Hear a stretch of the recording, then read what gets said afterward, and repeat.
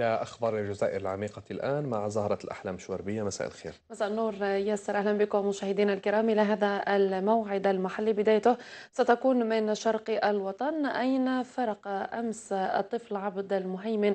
رحمون والذي ينحدر من بلدية ودنيني بأنبواقية الحياة بعد نزيف حاد ومتفاقم تسبب أو نعم تسبب في فقدانه لوعيه. وحسب والده الذي نقله على جناح السرعة إلى مستشفى محمد الصالح الزرداني أن هذا المستشفى رفض التدخل في شأن حالته بسبب عدم وجود أطباء مختصين ليتم نقله لمستشفى ابن بديس بقسنطينة أين لفظ أنفسه الأخيرة بعد خلوه من الدم الذي تسبب فيه النزيف الحاد؟ فخر الدين الراي عديته للسبيطار تاع عين البيضاء اديته للطبيبه تاع أمراض الدم عزيون.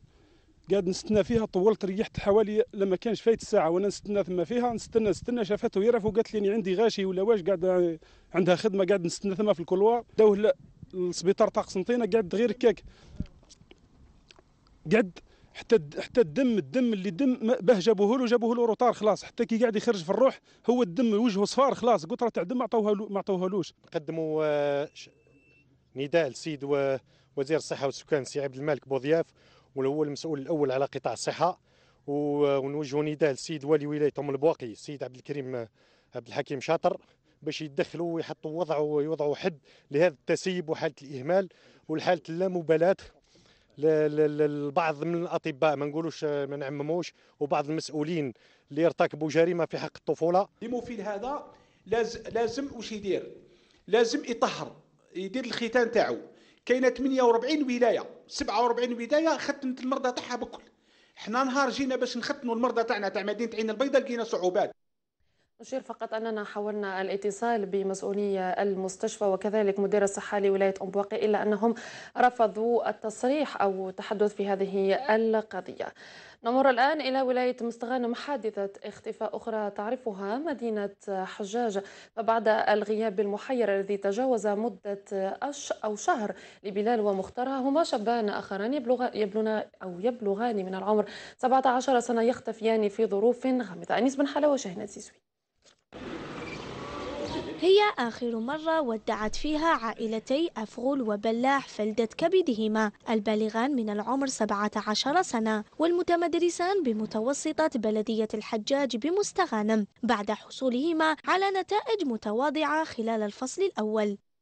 تاع اللي داروا فيه العطلة وخرج هو وصحابه كالعادة راح يدور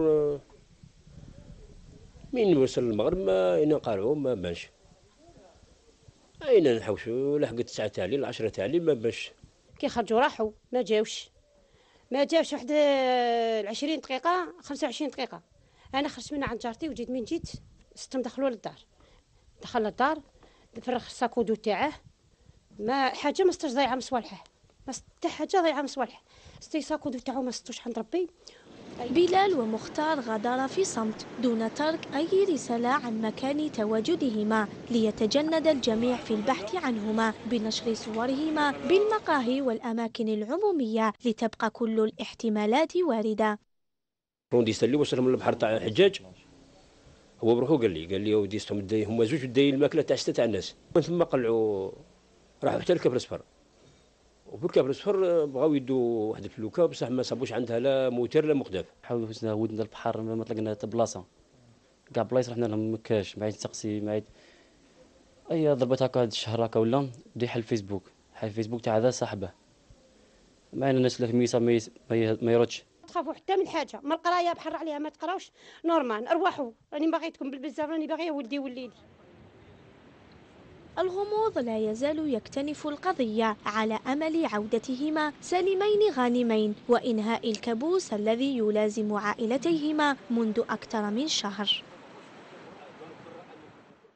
شهد الطريق الوطني رقم 11 رابط بين ولايتي مستغانم ووهران انقطاعا بين بلديتي استيدية وسيدي منصور هذا بسبب التقلبات الجوية التي شهدتها الولاية والتي أدت إلى تدفق كمية كبيرة من المياه نتيجة عن انفجار قنوات المياه الصالحة للشرب. إذا هذه الحادثة تسببت بشل حركة المرور وإتلاف بعض المركبات التي بقيت محصورة وسط التراب كما توضحه الصور والتغطية كانت لأنيس بن حارث. كنا وحدنا في الظلمة الظلمه شاعلين الضوء رايحين. المهم كاين الكراج تاع الضوء. اكتشفنا الماء زادم علينا. ما على بالناش كاين ترم بها بالرمله الكاميو قاعد يباطين بعد قاعد يزيد يطلع. خاطش الحيط تبلع على هذاك الحيط اللي تشوف فيه باغ تبلع على الرملة. تبلعت علينا. وكانت مورانا واحد السي مشيت البومبيه كلشي صح ما خلاوناش قال لك حتى تستنى حتى اللي يبان النهار. خلاونا خرجنا من الثقة تاع الكاميو بالك تشوف فيه خليت تاع الكاميو بالك تشوف فيه وكانت مورانا سيري سانك اللي هي بلوكا شيري في الحاشية خرجت بالخف. وحنا قعدنا هنا حتى لهذا الوقت ومازال ما خرجش. وماشي زعما يحلوا لنا الحيط هذاك خلينا نخرجوا. ولا لا يحاولوا يجيبوا الرملة تاعهم غير يمشيوا باش ما يضيعوا صوالحهم وحنا رانا قاعدين من الصباح. في سياق مغاير تحظى قهوة الفرارة بمكانة كبيرة لدى أبناء الجلفة نظرا لخصوصيتها وكونها لازالت تحضر أو تحضر بالطريقة التقليدية. نتابع هذا التقرير لزكريا مفتاح وحميد عوادي. قهوة الفرارة. القهوة التي تصنع على الطريقة التقليدية إذ لا يستطيع أي فرد بولاية الجلفة التخلي عنها فتحضيرها يتم عبر وضع غبرة القهوة مع الماء وقليل من السكر فتخلط ثم تترك لتصفى وتقدم للزبون. من بكري نشربوها وجدودنا يشربوها درك يكون ما نشربهاش ما ما ما, نروحش للدار لازمني نشرب فرارة. فهمت؟ لازمني نشربها صباح وعشوة هذه واحدة الصباح وواحدة العشي أصلها تركية والجلفه هي معروفه أنها تمتاز بهذه القهوة هي الفرارة. قهوة هذه فرارة معروفة عند ولادنا من بكري. أه نشربوا هذا الوقت. يسموها الشيوخه بكري ضحيه normal قهوة الضحية. قهوة الفرارة هي مقصد الكثيرين من أبناء الجلفة وأكبر سر فيها أن كل الحديث عن السياسة والانتخابات لا يتم إلا بارتشاف هذه القهوة.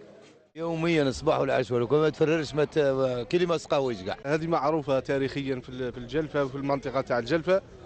سكان ولاية الجلفة بحيث يستهلكوا هذه القهوة اللي عندها تاريخ تاريخ قديم. فقهوة الفرارة تحظى بمكانة كبيرة بالجلفة نظرا لخصوصيتها فهي من عمق تاريخ وتقاليد السكان وكونها تتميز بميزة خاصة ألا وهي مركباتها البسيطة فقط.